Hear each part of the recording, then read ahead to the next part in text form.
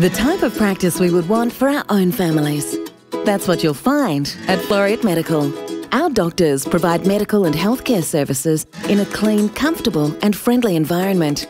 Headed by Dr Rosanna Capolingua, a former president of the Australian Medical Association and one of Australia's most respected medical practitioners, Floreat Medical is a practice of the highest calibre, with leading edge facilities and a strong focus on preventative healthcare.